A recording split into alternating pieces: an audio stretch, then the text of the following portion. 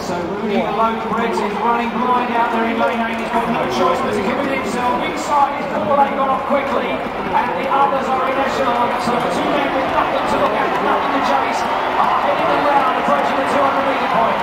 All of these men are sub 45 at the moment. Borlée leading. Rooney going well, chasing that ace standard. And also going well into Jermaine Gonzalez in the main event. Kirani. Come on, let's go. Go. Kirani.